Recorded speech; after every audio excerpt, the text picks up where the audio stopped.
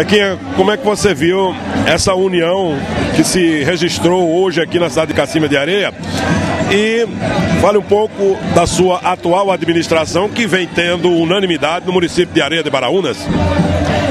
Olha, união sempre é muito bom, né? Fortalece. A oposição, quando se une, a situação fica muito boa, né? E aí a Gilmar está mais fortalecido e com certeza vai ter belas vitórias aqui em Cacima de Areia.